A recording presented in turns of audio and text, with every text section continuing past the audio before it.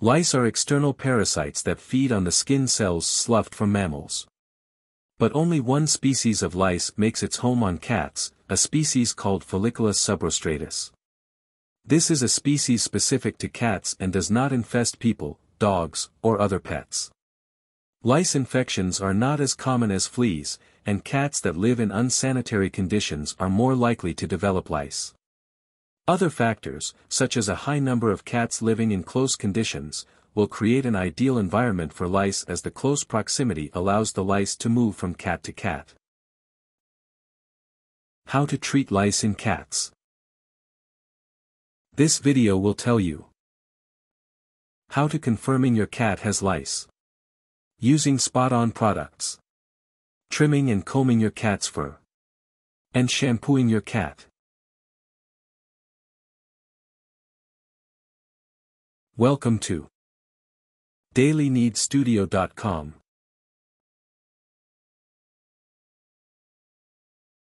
Method 1. Confirming your cat has lice. Number 1. Notice if your cat is constantly scratching its body. A cat with lice is intensely itchy. Your cat may scratch itself, bite itself, rub the affected areas, or act agitated. This constant scratching should prompt you to check your cat's coat for parasites. You may also notice matted or balding spots in your cat's coat. Number 2. Look for lice on your cat's coat. With good eyesight, you can see lice with the naked eye. They are about the size of a sesame seed with an elongated, oval body, like a grain of rice but smaller. They have three pairs of tiny legs. The lice scavenge sloughed skin cells and like to anchor themselves to hair shafts near the skin's surface. They should be easy to look for by moving your hands through your cat's fur. Number 3. Search for lice eggs in your cat's hair. The adult louse lays eggs along hair shafts. To the naked eye these eggs look like tiny white glistening specks stuck to the hair. They can also look like white dust. However, if you try to comb them out, you will find that they are tightly glued onto the hair shaft. Pay particular attention to the hair shafts near your cat's skin. The eggs will be glued onto your cat's hair and may be easier to see than adult lice as they don't move away. Did this video help you? Let's comment below. Yes or no. Method 2. Using spot-on products. Number 1. Use spot-on products that contain fipronil. Fipronil is a pharmacy-controlled product, so you can buy it over the counter from certain pharmacies. Products containing fipronil include Frontline and Effipro.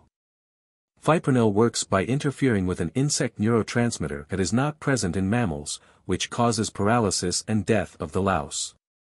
Apply this product once every 30 days. Treat all cats that may have come into contact with lice so they do not act as a reservoir of infection. Number 2. Select spot-on products that contain selamectin. Selamectin is an active ingredient in Revolution, US, and Stronghold, UK. It works by interfering with the louse's neurotransmission, causing it to become paralyzed and die. This is a prescription product, so a veterinary surgeon must prescribe this medication for your cat. Though products containing fipronil and selamectin are not licensed to treat lice infections, they are widely acknowledged as being safe and effective at killing lice. Number 3. Apply the product directly to the cat's skin. Put the product in a place where the cat cannot easily lick it off. The back of a cat's neck would be a good option. Part the cat's fur with your fingertips so that you can see the skin and apply the product there. Allow the product to dry for 2 to 3 hours before stroking the cat, otherwise you risk wiping the product off. Number 4. Use only one pipette of product per cat, per month. Spot-on products are designed to produce a microfine layer of active medication over the surface of the cat's skin, so don't over-apply it. If you want to improve the appearance of the cat's coat, wait two days after applying the product to give the adult lice a chance to die. Then, comb the cat's coat to remove the dead lice. The eggs need to hatch out before they will die, so repeat the combing weekly until the comb is clean for two consecutive weeks. Number 5. Take your cat to the vet. Take your cat to the vet to ensure it is in good health. Sick or debilitated cats have a hard time grooming themselves, which can make them more prone to getting infested with lice. In addition to using spot-on treatments, get your cat treated for any underlying conditions that might make it vulnerable to infestations. Ask the vet if spot-on treatments are safe for your cat based on your cat's size, age, and overall health. Did this video help you? Let's comment below. Yes or no. Method 3. Trimming and combing your cat's fur.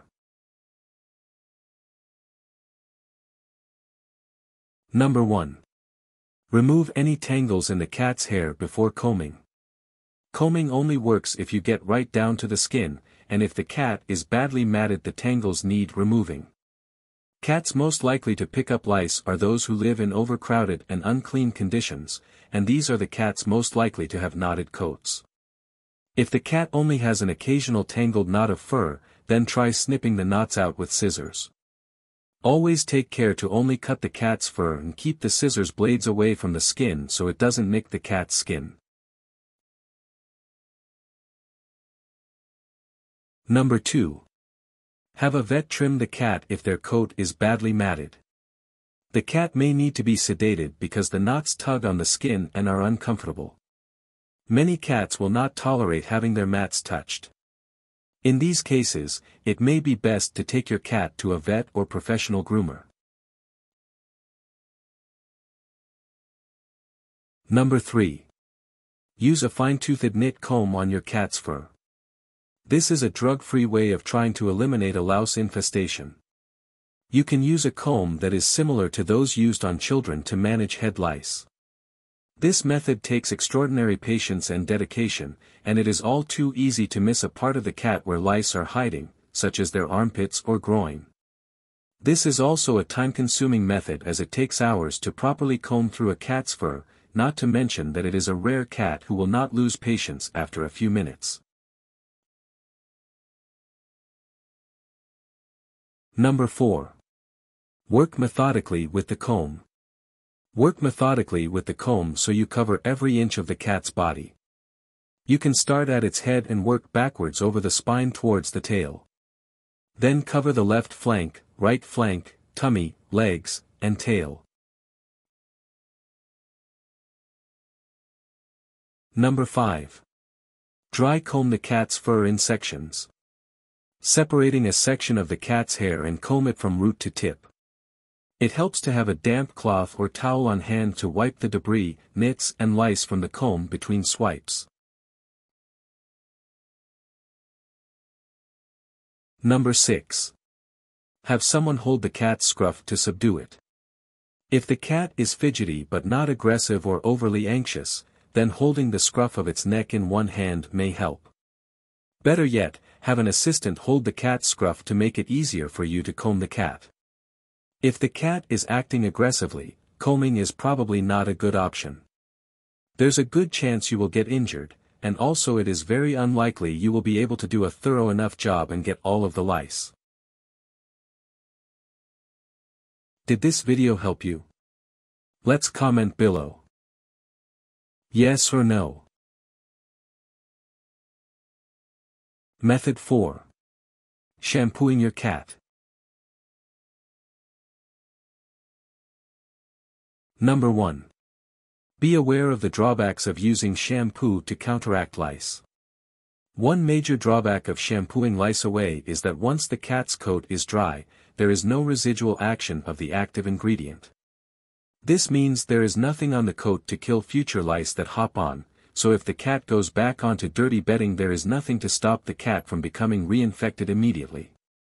The use of shampoo has largely been superseded by products that are more effective and easier to use, such as spot-on treatments. In the days before spot-on treatments, the shampoo commonly used against lice was Seleen. Seleen is a thick green shampoo that contains selenium sulfate. This chemical decreases excess skin cell shedding and food for the lice. But it is not licensed for use in cats so use Seleen on your cat at your own risk. Number 2. Only use shampoo if your cat enjoys being bathed. Most cats dislike baths and being shampooed. Cats that do like bathing are probably show cats and the least likely to pick up lice in the first place, by virtue of their pampered lifestyle. Number 3. Use a baby bath or kitchen sink to shampoo the cat. Gather the necessary materials, such as towels, medicated shampoo, and a jug to pour the water. Number 4. Fill the sink with warm water. The water should reach the cat's elbows or just below its elbows. Pour warm water over the entire cat, taking care not to get it into its ears or eyes. If necessary, put cotton wool in the cat's ears to protect them. Number 5. Work a coin-sized amount of shampoo into the cat's coat until it lathers. Place the shampoo in the palm of your hand, then work it into your cat's wet fur. Repeat this process until the whole cat is shampooed. If possible, leave the shampoo in the cat's coat for 10 minutes to allow for the maximum effect before rinsing. Rinse the cat well with plenty of fresh warm water and then towel dry the cat. Number 6. Make sure the cat goes back. Make sure the cat goes back into a clean environment to prevent reinfection. Wash the cat's bedding as well as any other bedding in the room and spray any soft furnishings such as sofas and beds with an insecticidal spray suitable for killing flea eggs and larvae, such as RIP fleas or Sta-Kill. Always use these sprays in a well-ventilated room and remove any reptiles, birds, or fish from the room to avoid toxicity. Leave the room uninhabited for two hours after spraying to allow any lingering aerosol to settle out of the atmosphere so you and your pets don't breathe it in.